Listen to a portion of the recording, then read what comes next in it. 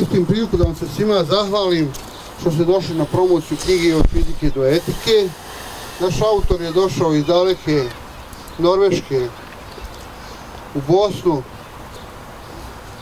Izuzetna, interesantna ličnost, patriota i srčano smo prihvatili ponudu da promovišemo knjigu. Zašto smo ovdje? Počinjemo pričati jednu novu priču, a to je da bi voljeli da ovaj grad dobije amfiteatar ovdje iza nas. A da bude to pravi primjer svima ostalima i da krene ova priča, evo, počeli smo upravo ovdje. Ja ne bi oduzimao puno vremena jer ide i akšam. Posle akšama namaza pijemo kafu hađmača kući. Eto ja dajem riječ našem doktoru Vajdinu. Gostima se još jednom zahvaljujem na dolazku. Hvala lijepo doktore Ismiću. Hvala vam eh, što pomjerate granice promocija knjiga u Zenici i ovih lijepih kulturnih manifestacija. Cijeni posjetitelji, assalamu alaikum i dobrodošli na večerašnju promociju knjige od fizike do etike, naučne, moralne i društvene konotacije ateizma. Poštovani ljubitelji knjige, pisane riječi, poštovani članovi udruženja Baton i gosti, zadovoljstvo mi je poželiti vam dobrodošlicu na večerašnju promociju knjige uvaženog autora Edina Mezita, neobičan, neobičnog naziva i tematike od fizike do etike, naučne, moralne i društvene konotacije ateizma. Na 317 stranica autor, priređivač nam donosi najaktuelniju svjetsku literaturu o ateizmu kroz prizmu prirodnih i društvenih nauka. Ovo je pionirski poduhvat koji nam donosi kritiku ateizma kroz nauku. Izdavač knjige je Asocijacija za kulturu, obrazovanje i sport AKOS, koji je dugo vremena svoje sjedište imao u Zenici, a sada u Sarajevu. Posebno nam je zadovoljstvo da je ovo druga promocija ove knjige nakon prve promocije u našem gradu Konjicu. Na samom početku pozvaću magistra nauka Mohameda Efendiju Velića da nam se obrati, a prije toga evo nekoliko riječi o našem, ja bih rekao, influenceru, čovjeku koji svojim stavovima, svojim e, razmišljanjima, promišljanjima koja dijeli s ljudima i slobodno iznosi, ja ću kazati slobodno, pomjera granice i jedne virtualne komunikacije sa ljudima. Mohamed Efendija Velić je sarajevski imam, autor, publicista, završio je Gazi Husrebegovu medresu i fakultet islamskih nauka u Sarajevu, na kojem je magistrirao iz oblasti tefsira, tumačenja Kur'ana i islamske psihologije. Profesionalno je angažovan kao imam Hatibi Mualim pri međlisu islamske zajednice Sarajevo u džamiji džematu Ferhadija. Autor je knjiga Bošnjaci na pola puta.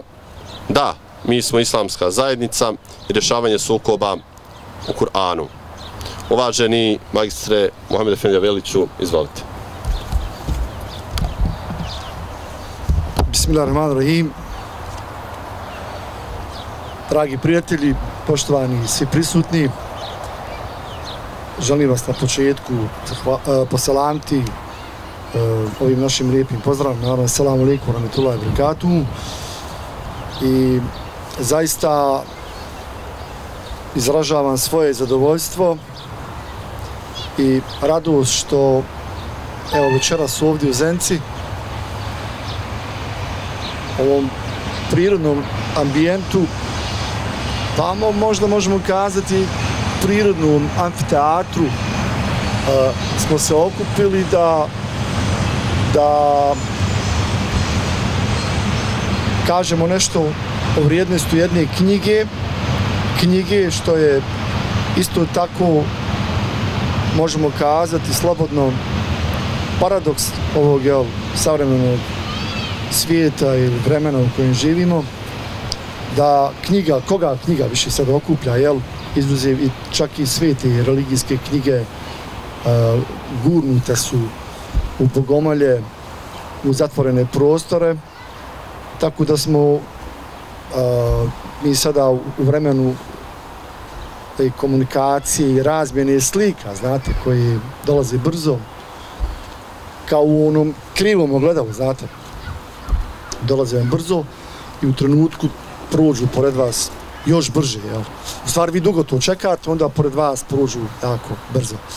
Zahvaljujem naravno moderatoru, našem profesoru uvaženom na lijepim riječima, zahvaljujem e, isto tako autoru knjige koji nas je, jel, koji je priredio ovu knjigu i koji je bio večeras razlog naše kupljanje. Zahvaljujem Jakusu koji je izdao ovu knjigu, e, tiskao, jel, da upotrebi možda tu, tu riječ, ima u bosanskom, onaj, vjerovatno postoji u bosanskom jeziku riječ koja je autentična što se tiče, dakle, štampanja knjige. E, zahvaljujem i udruženju Ratni vojni invalida Batum koji, koji, nas je, koji nam je ovo ovde priredio ovu, znate, ovaj prostor. Htio bi se referirati malo na ovaj prostor, ovde su, dakle, ovaj povije, povijesni prostor, ovde su naši predsi dolazili isto tako i davali neke prisege i tu nam preko, preko rijeke himna često državna svira i ako Bog da i pjevače. Igrana je prestacija, ovde mi smo na Kamberovića polju, Bilno polje, sve je to povezano, tako da se osjeti ta inaka svetopovijesna dimenzija, znate. Da mi je drago da smo večeras ovaj, na ovom prostoru, ali želim sad posebno naglasiti u vremenu u kojem smo. Danas je, evo još malo, treći Muharrem, novi 1443. hijđarske godine, tako da ovo možemo Edin Efendija tretirati kao jedno novogodišnje druženje, a ja vam želim odmah na početku da čestitam ovaj, novu muslimansku hijđarsku godinu i kazati da, da me raduje tu da, da, je, da ulazimo, dakle, sa promocijom knjige, jel? knjige. U Sarajevu smo prije tri dana imali jedan okrugli sto na temu Hidžri, izazov našeg vremena. E, Hidžre kao naš stalni izazov. A već govorimo o ovoj, ovoj zaista vrijednoj knjizi pod nazvom Od fizike do etike, naučne i moralne društvene konotacije teizma. Dakle, to je nešto što je priredio moj kolega, magistar Edin, Edin Fendija Mezit, e, naš imam u Norveškoj. U Norveškoj, ali uh, vidite kad, kad aktivan čovjek ode negdje, uh, kad, kad otputuje geografski je to daleko, ali ako je živ čovjek, duhom živ, intelektualno, onda ne postoje te neke fizičke uh, udaljenosti, barijere, prostranstva, to se sve skrati, znate, zbog, te, zbog, zbog tog duha, svijet postaje manji, sigurno, zbog duha. Evo i doktor Ispić, gotovo ista je to pojava, znate. E, znači, duh je nešto što nas okuplja, taj ruh min Allah, koji nas okuplja i koji svijet čini e, na jednom mjestu, okupljeni, okupljeni. Ova knjiga od fizike do etike, ja sam, e, dok je autor dakle, ovu uh, radio na ovoj knjizi dok je te prikupljio te tekstove, dok je pre, uh, prevodio i dok je ulazio u, u, u samu problematiku, dakle, ove velike teme, teme ateizma, ateizma, ja sam bio, dakle, sudionik tih njegovih nekih dilema i truda dok je to radio i razgovarali smo i pratio sam i evo sad, nakon, nakon izvjesnog vremena, smo u situaciji da imamo to dijelo, neko ko je godinu, dvije, koliko je posvetio, dakle, znate, tamo dok, dok obično svijet spava, neko noću radi, bavi se intelektualnim radom, ili po danu, ili kad ga vidite da ide uh, preko Kamberovića polja, priča sam sa sobom, vjerovatno sprema neki tekst ili piše neki tekst. Ne mora znači da, da su ljudi malo popustili, jel, ako pričaju sami sa sobom, jel. Dobro je se ispričati nekad sam sa sobom, jel ima ona jedan je rekao, kaže, jedna ona ima, da se našali malo frizan, kaže, uh, jutro sam se posvađao sam sa sobom. Do duše kaže, ja sam prvi počeo, znate. Uvijek tu veliko ja moramo ubiti, pod navodnicima, da bi mi, da bi mi, onu mi moglo, ili džamat, da mogu doći do izražaja. To, sad, to je ona dilema, jel, uh, je li sad važno da jedan čovjek napravi 100 koraka naprijed ili 100 ljudi jedan korak naprijed. Naravno da je važnije da 100 ljudi naprijed jedan korak naprijed, ali ovdje u ovom slučaju imamo situaciju da je jedin Efendija Mezid bukvalno sam, bukvalno sam, otišao 100 koraka naprijed. I šta je uradio? Prikupio je tekstove koji su objavili danas najveći naučnici ateističkog učenja, zagovornici evolucionizma, darvinizma, novog ateizma. E, to su, dakle, prva imena tih učenja, filozofskih učenja, sakupio njihove tekstove, našao je njihova e, tekstove njihovi oponenata koji su doveli e, dakle, upitan neke njihove stavove, koji su naglasili slabosti ili slabije tačke njihovih stavova. I onda je naveo tu u ovoj knjizi ovde sve zajedno. Zašto je ova knjiga važna? Po meni dvije su, dvije su ona velike vrijednosti ove knjige. Posebno ove knjige. E, zato što je a, autor prva vrijednost zato što je autor potrudio je se da a, na jednom relativno malom prostoru, na malo stranica, znate, a, uspije na, u malo teksta, što čini uh, umijeće naravno pisanja i razmišljanja, na malo prostora da sažmi ili sublimira uh, ova učenja, ova filozofska učenja koja su koja govore o ateizmu i koja su srodna ateizmu. Znači, sad kad mlad čovjek želi da se upozna šta je tu sekularni humanizam, šta je tu darvinizam, šta je tu ateizam 2.0, šta je tu uh, nihilizam, deizam, scientizam, tako ta filozofska učenja, kreacionizam, evolucionizam, inteligentni dizajn i tako dalje, tako dalje. On dakle na malo stranica ovdje može da nauči osnovne stvari vezane za, za ta učenja. Dakle, za jednog mladog vjernika muslimana koji, koji želi da i treba da zna o čemu se tu radi, on a, kad počita ovu knjigu na jednom nego više puta, on će znat kakva su to učenja i o čemu se tu radi. Dakle, u prvom smislu ovo je učbenik, učbenik koji jedine Efendija provijedio. A druga vrijednost ove knjige, što je po meni veća vrijednost i glavna vrijednost, što smo sad došli u situaciju, pazite, da govorimo o vrijednosti vjere, o vjeri i njenim vrijednostima.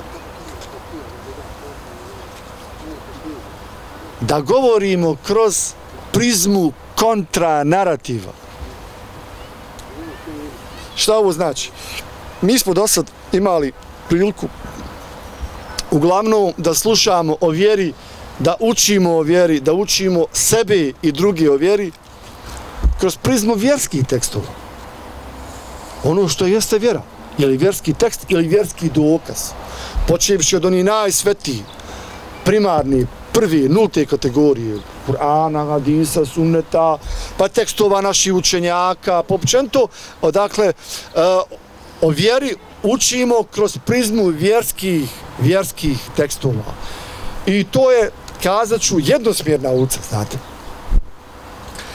E, sad se vraćam na ovu tezu, zašto je, Edin, zašto je ovo važno, jer Edin očeo sto koraka naprijed. E, sada do, e, napravio takvu situaciju da mi možemo govoriti i učiti i potvrditi vjeru, svoju vjeru kroz prizmu kontranarativa, dakle i njegovi slabosti. Dakle, ta ateistička učenja koja je on te glavne tekstove, glavnih tih e, ljudi koji se bavi protagonista ateizma, od Richarda Dawkinsa, e, Petera Atkinsona, od Stephena Hawkinga, uh, i drugih ovih vidjet ćete tamo da ja sad ne bi odnabraju sve, a naravno ubrzo ću završiti, pošto treba da glavna zvijezda večer bude sam autor, tako, ovaj, to vam isto ko na svadbi kad se onaj, ja to često svojoj ženi govorim, nemoj se previše onaj, oblačka, idemo sad to mlada, treba da bude najljepša, jel? mlada, tako da i na promociji treba autor da bude najzastupljeniji, tako da. Um, Dakle, mi govorimo sad o vjeri, učimo o vjeri, dokazujemo, potvrđujemo vjeru kroz prizmu kontranarativa i njegovi slabosti. Dakle, ono što je teističko učenje i sve te slabosti koje su, enigme koje su ostale oni.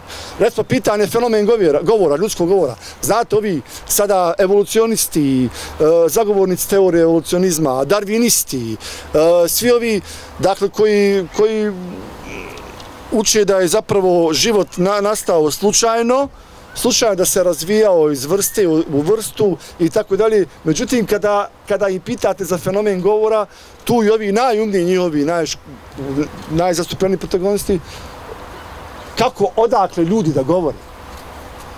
Kako ljudi da govore, a životinje ne govore, tako dalje. To im ostaje enigma. Enigma je i ljudski um. Ljudski um, kao što kaže ovdje isto na jednom mjestu misao, da je zapravo ljudski um, ljudski um je dio svemira. Svemira, ali predstavlja zapravo njegov najorganizovaniji i najsloženiji dio. Svemir je naspram ljudskog mozga i uma zapravo jedna gomila ili ćemo prostranstvo prostranstvo gdje ima puno željeza, kamena, vatre i šta li već. A to je ono što gospodar govori u Kur'anu da će pružati dokaze u prostranstvima svemirskim i u nama samima i u nama sama. U nama su dokazi. Dakle, ovo sad što ja, ovo je dokaz, braćo i sestre, poštovani, to je dokaz vjere. Dokaz vjere ovdje, ateistička učenja to ne mogu objasniti kako. Da ja sad govorim, a vi me slušate i razumijete šta ja pričam. To je naj, jedan od najvećih dokaza, znači, on ne mogu objasniti kako. Otkud to da čovjek govori? E dakle, kroz prizmu tog učenja i slabosti mi učit ćemo i o našoj vjeri i naša će vjera rast i potvrđivat se i sve ćemo više i više vidjeti kad budemo čitali ove tekstove. Zapravo, zahvaljivat ćemo gospodaru što nas je izabrao i uputio i odabrao za našu vjeru. Dakle, ja ću preporučiti ovu knjigu da se uh, da je, da je kupite. Pazite, da je kupite. Vrijednost ove knjige sigurno je nekih 30, 40, možda i 50 maraka, pa i više tako. A ona je ovde 10 maraka. Slošćamo se, to je malo jače od kutije cigareta, tako. A bolje je isto tako knjigu ponijeti nekom na poklon, nego bajadirnu nastavu. Jednom sam napisao u, u preporod kolumnu, pod, nas, eh, pod naslovom knjigom protiv bombonjere ili bajadere, ono ako kad dođeš neko na sjelo, pa ako nisi ponio bajadere, ono kao žena govori, e uzmi bajadera, ako nije bajadera, kao ono, ponesi knjigu, volam, ponesi knjigu, moramo razbijati te predrasude i te ona stereotipe, moramo razbijati to, da ne budemo ljudi, da budemo ljudi knjige. Knjige. I završu ovo svoje evo, s jednom pričom. Kaže, Amin Maluf navodi u jednoj svojoj knjizi jednu zgodnu priču.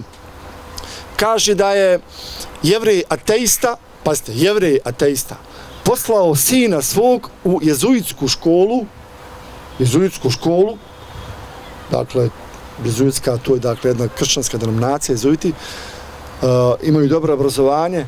Kod njih je poslao ovoga sina svoga da mu priskrbi dobro obrazovanje. I kad je sin došao jednom na ferije, pita ga otac, šta učite sine tamo u školi, pošto otac to plaća, jel? Otac kaže, radimo iz matematike, to radimo i geografija, historija, tako dalje, ali kaže, imamo i vjeronauku. Kaže, šta učite na vjeronauci, pita ovaj otac sina. Kaže, pućimo očeka na vjeronauci da, kaže, da imaju tri boga tri Boga. Kaže, slušaj, sine, postoji samo jedan Bog. Ni u njega mi ne vjerujemo, a kamo u svetu. E, to je toliko u tom učenju. I ovo je dakle jedna priča koja će na taj način. Postoji samo naravno jedan Bog i mi u njega vjerujemo. I hvala uh, Edinu koji nam je priredio ovu knjigu i izdavaču i organizatoru ove tribine i tako da. Hvala Evo, moderator se prepušta. Hvala lijepo, uvaženi Magistre Mohamed Feveliću. bilo je zadovoljstvo slušati vas. A, dozvolit ćete mi sad jednu minutu prije nego što autoru dam riječ.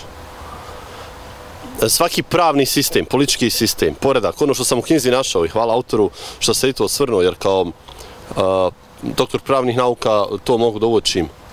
On je tamo lijepo objasnio kako svaki pravni poredak, pravni sistem, građansko pravo i svaka druga grana prava izvire iz jedne ideje. A koje ideje određuju to sami ljudi koji čine tu zajednicu i kreiraju taj sistem?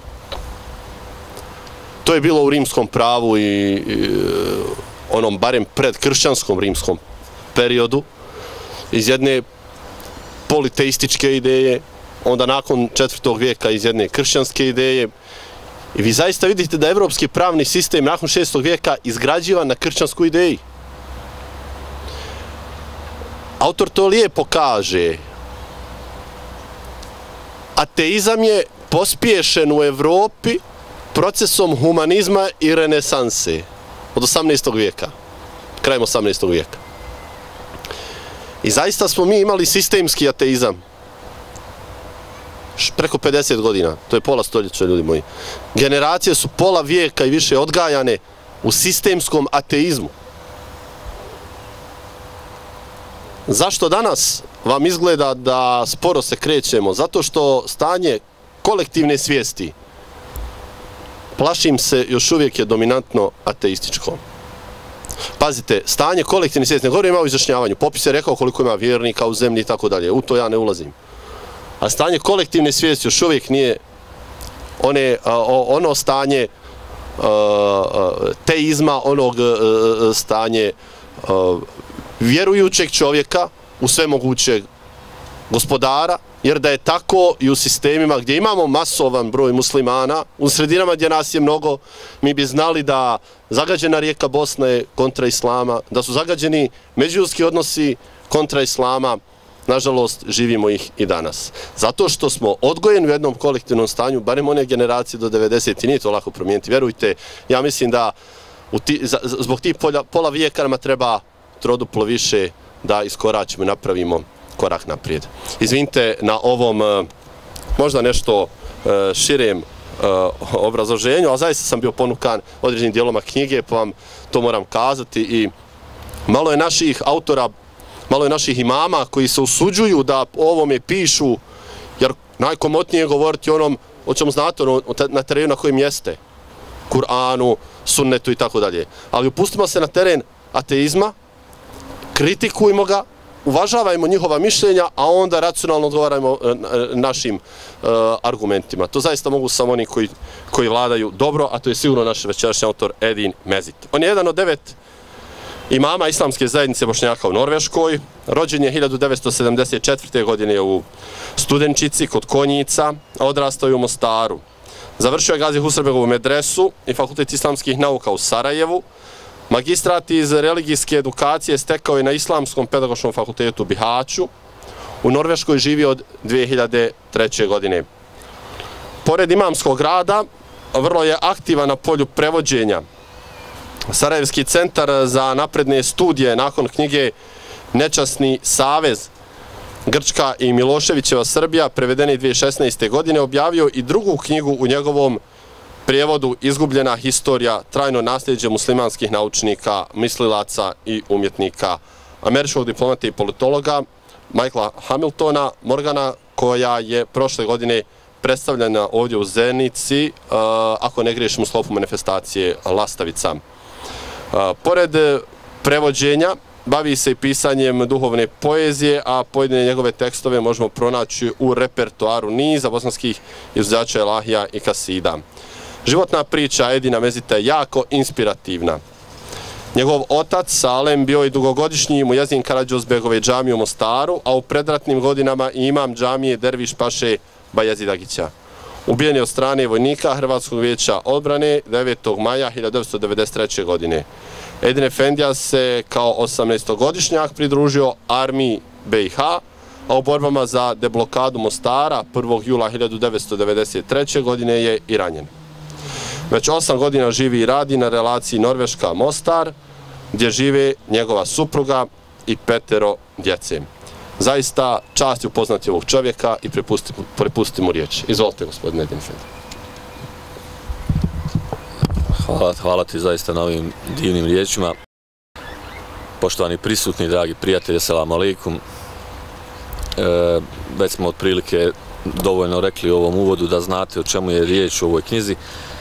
Ja ću vam ispričati, ispričati jednu moju privatnu storiju kako je u stvari započela moja, moje interesovanje za temu ateizma. U jednom prilično neobičnom ambijentu, jednog ratnog rova, jedne ratne linije 1993. u januaru na planini Raduši, na planini Raduši, dakle, od Gornjeg Vakfa prema Kupresu. E, zatekao sam se, tako je tu večer, jeli, bio neki raspored. Sa jednim momkom kojeg do tada sam površno samo poznavao iz Gornjeg Vakufa, znam, znao sam da nešto studirao u Sarajevu, meni je tada bilo neki 18 godina, on je bio par godina stariji. I znate šta je taj momak, u čemu je proveo tu večer, u kakvom razgovoru sa mnom? Čovjek mi je, e, kako bi to danas rekli, vršio davu, Dakle, misionar, misionarski jedan e, zadatak je sebi dao da tu večer mene preobrati u ateizam. Dakle, čuje da sam učenik medrese, čuje da sam malo možda pismeni, rekli bismo, jel, malo načitaniji nego možda neki prosjek. I on, pošto je bio već ozbiljno jeli, onaj, zagrizao, da kažem, u to ateističko učenje, on je čitavu noć mene ubjeđivao da Bog ne postoji, da je sve to što mi klanjamo, što sve, sve vrste obreda i tako dalje, u suštini nema nikakvog smisla da tako dalje i tako dalje. E, neposredno nakon rata počeo sam otkrivati zaista fascinantan broj ljudi širom svijeta, čiji je glavni životni smisao da dokažu da život nema smisla. Ako je jedna vrlo zanimljiva rečenca, ali stvarno e, iznenadili biste se koliko ljudi u svijetu zaista je to uzelo za svoj životni smisao i toliko svoje energije crpe u tom pravcu. E, u decembru 2018. godine u decembru 2018. godine u dnevnom avazu bosansko-hercegovački scenarista Feđa Isović je napisao jednu vrlo zanimljivu kolumnu koja govori o potrebi ukidanja vjeronauke u školama. Kao argument za ukidanje vjeronauke u školama uzeo je stanovište jednog profesora sa Oxforda, kako ga on tu citira, Richarda Dawkinsa, koji kaže da je svako nametanje religije djeci, zlostavljanje djeci. Ta kolumna se onda dijelila u ovim muslimanskim krugovima. Vidio sam različite odgovore, dole komentare jeli, na Facebooku i bio sam prilično razočaran. Ja sam već u to vrijeme knjigu privodio kraju i već sam se prilično, da kažem, obračunao sa tim Dawkinsom. Pa mi je bilo zanimljivo da vidim kako ta naša bosanska omladina, na, moji kolege i mami na kraju krajeva, ta naša muslimanska neka ekipa, kako, kakav odgovor imaju na takav argument? I to je bio prilično loš argument, emotivan argument, bez puno stvarnih, jeli, stvarnog mesa što se kaže u tom argumentu. Naime, ja sam se ono u sebi već lagano smijao, ona, jer sam knjigu privodio kraju, znao sam da će uskoro, ako Bog da moći ponuditi čitateljstvu, jako dobre argumente protiv njegove te, protiv tog njegovog, jeli, protiv njegovih tvrdnji. Naime, Richard Dawkins je vodeći ateista današnjice, najeminentnije ime. Na, njegove knjige su zaista e, veoma prodavane, ogromnu energiju troši u video prezentacijama, govorima, debatama i tako dalje, putuje širom svijeta, veliki emisionar ateizma.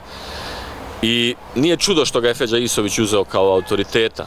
On jeste zaista priznati evolucijski biolog sa Oxforda, jedno od najvećih imena moderne nauke i kad takva jedna jeli, pozicionirana ličnost kaže nešto bilo čemu, vjerovatno zna šta govori.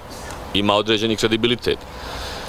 Međutim, nešto što je vrlo zanimljivo i što ova knjiga u stvari želi posebno naglasiti jeste da vrlo često izjave vodećih naučnika današnjice nisu nimalo naučne. Bazirane su na nekim vlastitim izgrađenim stavovima ali same nemaju argumenta. Kad kaže Richard Dawkins, i Feđa Isović ga citira kao također jedan promotor ateizma, autor ove po, po, popularne serije Luz Bunja normalan ako niste znali i neki drugi još bosanski. Dakle, to je jedan čovjek iz, iz srži bosanskog kulturnog miljeja, kao i neki drugi, naravno, ateisti, bos, bošnjaci. E, ima naravno pravo da promovira svoje svjetonazore i tako dalje. Međutim, imamo ime i pravo, kao što Richard Dawkins kaže, jeli, teorija evolucije sama po sebi ne znači da Bog ne postoji. Jel, neko ko povjeruje u teoriju evolucije ne mora nužno jeli, prestati vjerovati u Boga. Ali kaže, ipak je sjajno, kaže, oruđe u borbi protiv religije. Zašto ne bismo iskoristili kada je to oruđe?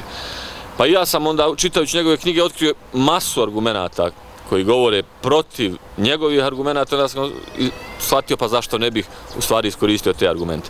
Jedan od izvanrednih argumenta sam Richard Dawkins jeli, nudi u jednoj svojoj knjizi, uvodu u ovoj knjizi već ćete ga pronaći, kad kaže da u stvari u svijetu, kaže, slijepih fizičkih sila, genetskih replikacija, vi nećete, kaže, vidjeti nikakvog smisla, nikakvog cilja, svrhe, nikakvog dobra niti zla. Neko će stradati, neko će uspjeti i to je to.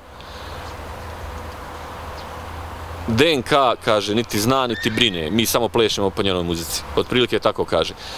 I na više mjesta u svojim knjigama on ponavlja kao što ponavljaju, pazite, to je zvanični stav ateizma, jer je logično slijedi iz toga da ako smo mi samo jedan slučaj, ako smo samo materija i energija u kretanju, dakle, ne postoji dobro i zlo on sam to jasno kaže i potvrđuje iz knjige u knjigu.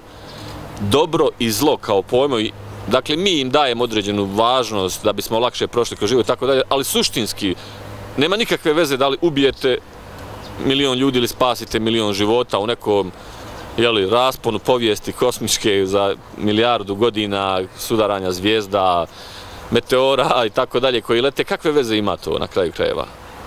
Ako ne postoji svijet iza ovoga, ako ne postoji metafizika, ako ne postoji Bog.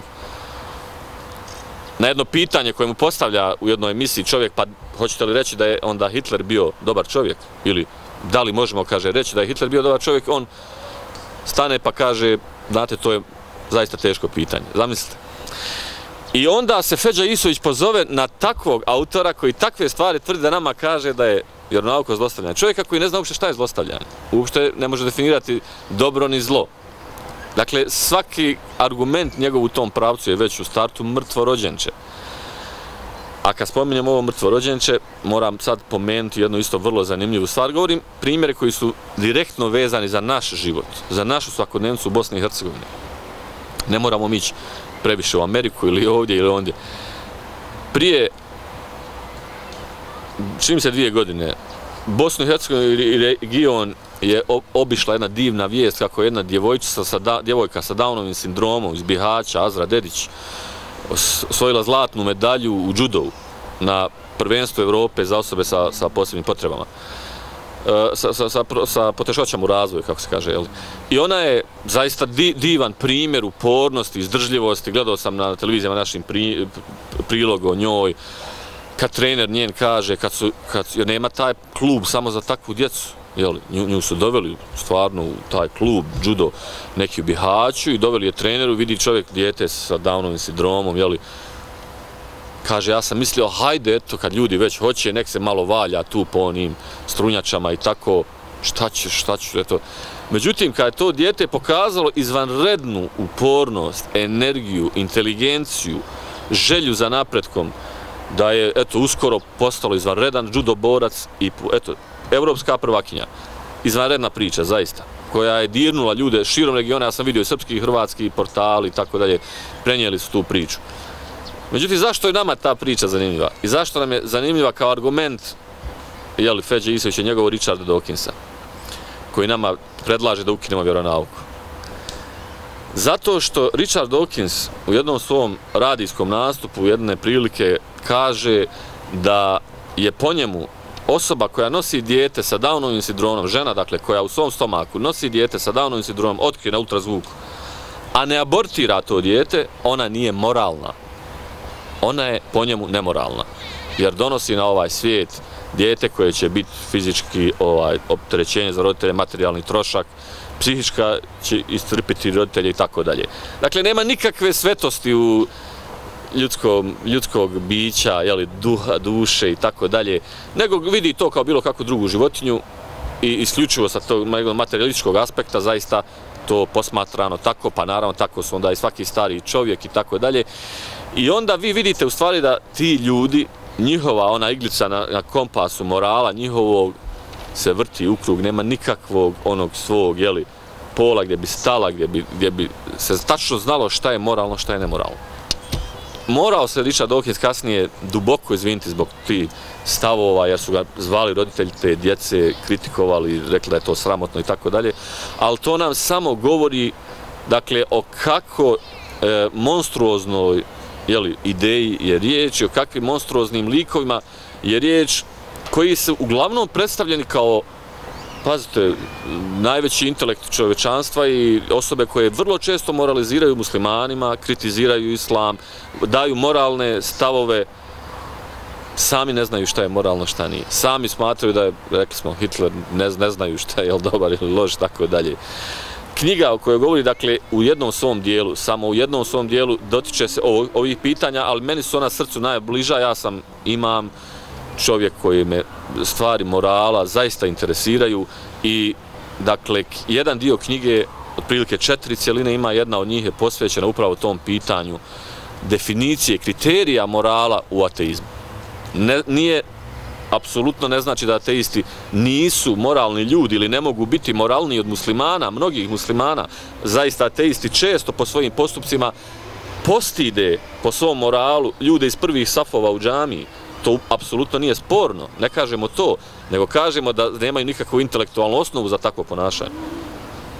Ako ne postoji, dakle, suštinski kriterij morala, dobra i zla, zaista ono, konačno dobro ili zlo, ako je čitav život besmislen, kao što tvrde, naučavaju, onda nemaju nikakvu intelektualnu osnovu, onda je to samo hir od danas do sutra i tako dalje.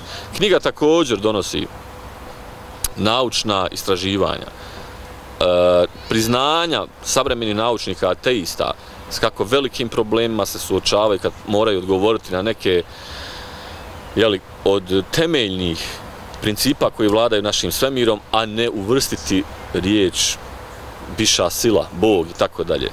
Jer svemir kojeg posmatramo zaista je fascinantan. Sam Richard Dawkins na jednom mjestu u jednom svojoj knjizi tvrdi da često poželi da, da, da se nekome nakloni, da, da obožava neš, neku silu koja je ovaj svijet stvorila. Toliko sam, kaže, osjećam taj poriv, što je prilično nevjerovatno. Knjiga donosi, dakle, istorijski također, jedan prikaz razvoja ideje e, dehumanizacije čovjeka. Naime, ako je čovjek e, obična, obični slučaj, jedna biološka mašina, koja nema nikakvu drugu svrhu osim da se razmnožava i da prenese gene na, na buduće pokoljenja i tako dalje, e, neminovno to dovodi do jedne dehumanizacije čovjeka i pogleda na ljudsko biće kako jeli, tradicionalne religije i jeli, čitava čovečanstvo u svojoj povijesti nikada nije imalo. Nije slučajno 20. stoljeće u koje je Eh, prosvjetiteljstvo je li ušlo je li gurajući čovječanstvo sa jednim e, samouvjerenim dakle, hodom ubjeđujući ljude da će nauka uskoro zamijeniti fiziku i da će nauka zamijeniti filozofiju i religiju i tako dalje, da, da materijalna pitanja će u stvari biti odgovor na sva druga pitanja. Nije slučajno da je 20. stoljeće postalo najkrvavije stoljeće u povijesti. Nije slučajno da je tehnologija koju je industrijska revolucija, prosvetiteljstvo, renesansa, sve, svi ti, jeli, procesi koji se desili u ljudskom umu protekli nekoliko stoljeća, nije slučajno da su kulminirali u 20. stoljeću sa najmanje 80 miliona žrtava u dva svjetska rata. Nijedan od njih nije religijski rat, zapamtite.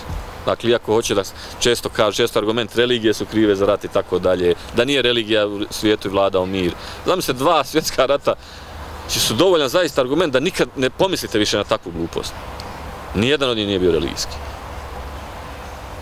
e, kulturna revolucija Mao Tse-tunga u, Kini, milione ljudi je odnijela, milione ljudskih žrtava, Staljinove čistke, dodatne milione, režim crvenih kmera u Kambođi, sve su to ateistički, dakle, režimi, bez ikakve religije, uništavali su, dakle, milione, govorimo o desetinama miliona ljudi. na direktan i indirektan način još više katastrofalne posljedice su učinili. I niko ne spori da u ime religije određeni ljudi zaista znaju učiniti grozna djela, da jeli, religiozni ljudi znaju biti loši ljudi i tako dalje. Međutim, na nivou, dakle, principa, na nivou E, definicija, na nivou kriterija, kada se razmišlja o ateizmu, moramo znati da postoje izvanredni, zaista, argumenti protiv ateizma razasuti širom literature ateističke sami o sebi. Zato sam, zato sam na kraju knjige u postskriptumu izdvojio na nekoliko stranica najbolje pomeni primjer do kojih sam bar ja došao, upravo tih autogolova, da kažem, gdje ne govore muftije, ni biskupi, ni ovi, ni oni iz religijskih zajednica, nego sam pustio njih da govore. Pustio sam Richarda Dawkinsa, pustio sam Petera Atkinsa, pustio sam mnoge druge tamo koje spominjem, da u svojim knjigama tvrde zagovare određene ideje koje su potpuno absurdne, potpuno suštinski besmislene. I onda vidjet ćete ko se bude malo šire bavio i na YouTube imate tamo debate i tako dalje, gdje im to ljudi u lice kažu, to su, pa vi zastupate absurdne stvari. I onda, znate, otkrijete u knjizi u 19 poglavlja, ispred svakog poglavlja stavio sam po jedan zanimljivo, zanimljivi citat raznih autora iz raznih oblasti koji malo jedan lijep uvod pravi u ta poglavlja.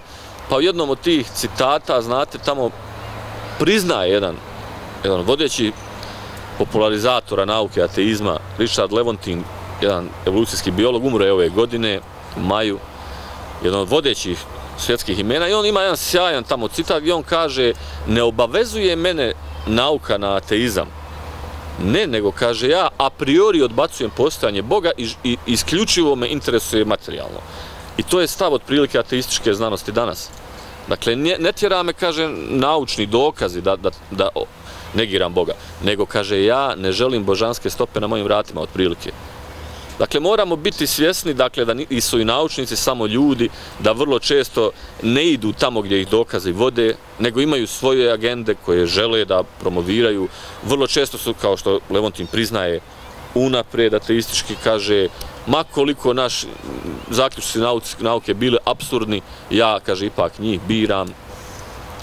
Kaže, jedini način, ovaj jedan drugi autor kaže, na koji je mogao početi život na ovom svijetu, mi to danas znamo, je ili nekim spontanim načinom iz nek, u nekoj tamo primordijalnoj supi, kao što kaže Darwin, ili direktnim božanskim stvaranjem, nema treće opcije, mislim, to je to. I kaže on, sve što nas nauka danas uči, ukazuje u tom pravcu da je vjerovanje u spontani način života prilično absurdna stvar, a ja i dalje, kaže, biram da vjerujem to, jer ne želim, kaže, da, da vjerujem u Boga otprilike.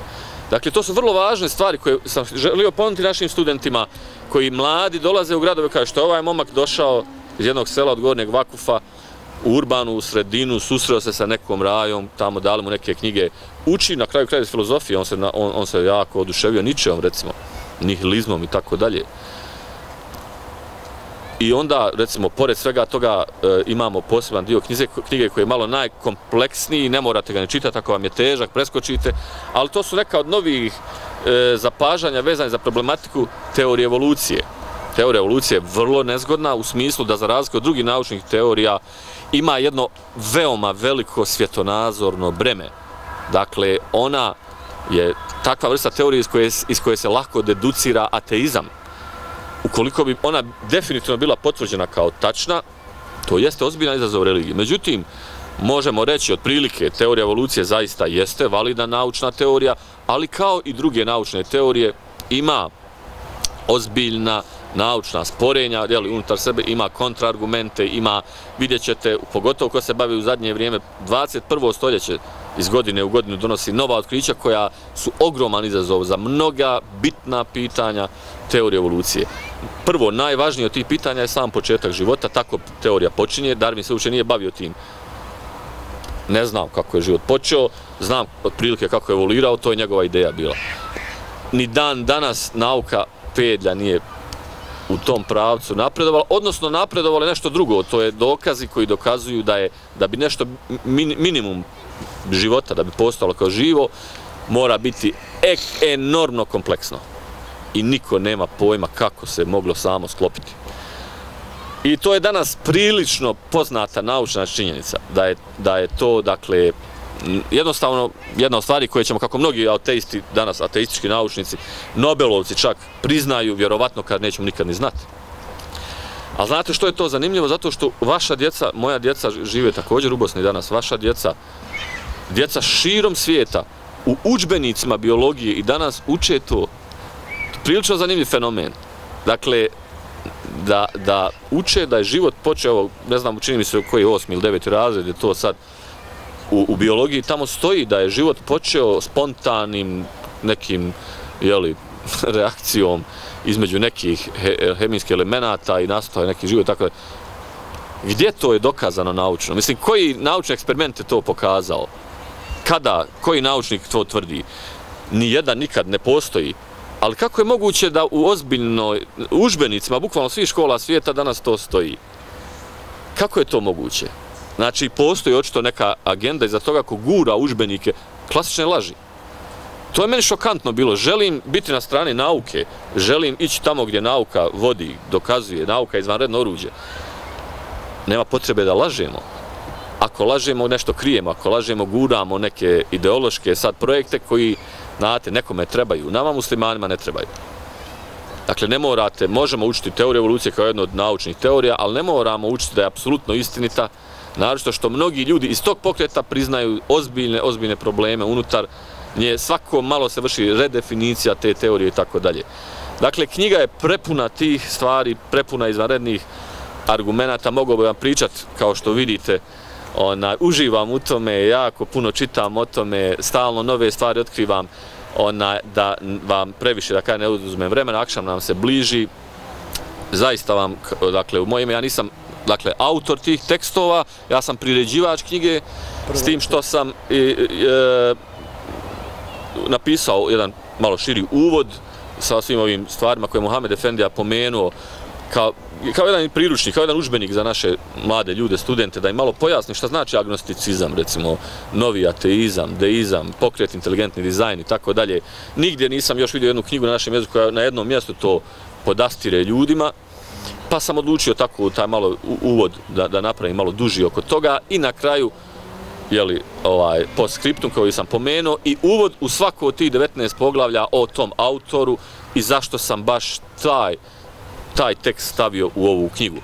Vjerujem da će vam biti donekle i teška možda, ima tu teških tekstova, čuo sam tu kritiku od nekih mladih ljudi, to mi govori da nažalost mladi ljudi malo i manje čitaju nego što sam očekivao, onaj, ali vjerujem da će vam mnoge od tih stvari biti veoma zanimljive i veoma korisne i toplo preporučujem knjigu. Hvala vam na pažnji. selam alaikum. Hvala vam, uvaženi autore. Uh, oni imaju misiju, imamo i mi misiju, lijepo je biti musliman, lijepo je biti vjernik nakon ovog. Uh, gledamo mi te serije, nažalost šta vidimo u pozadnji tih serija, zapitajmo se. Uh, Dozvolite mi samo jednu konstataciju, onda ću vam dati priliku da postavite pitanja.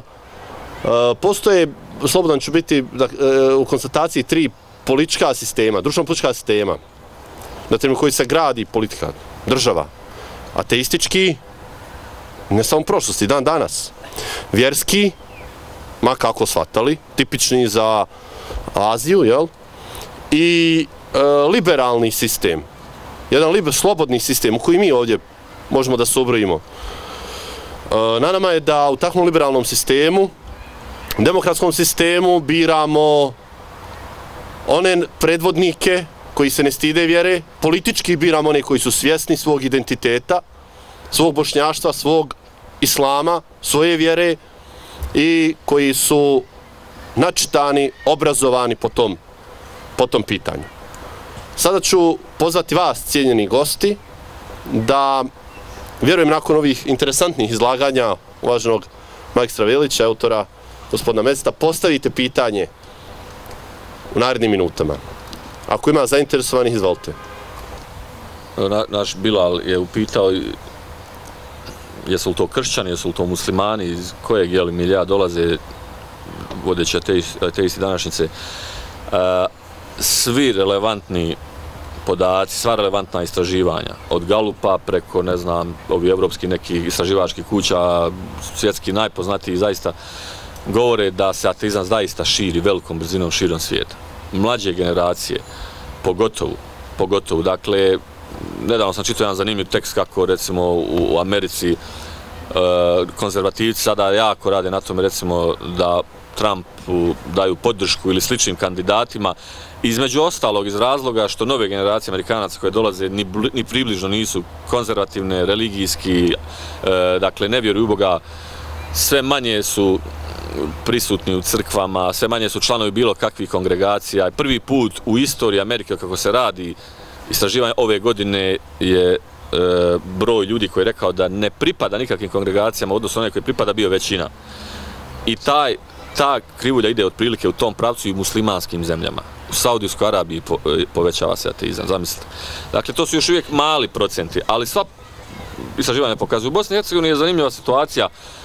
Imamo jedan veliki broj vjernika na, na, jeli, na papiru, ovako kad se kaže. Međutim, E, puno ljudi se ovdje istidi reći još uvijek da su ateisti, ne govore. To nije u Hrvatskoj, ni drugim zemljama. Pratim to, čitam knjige. Nedavno sam prošao jednu sjajnu knjigu, knjigu jedn, ovoga,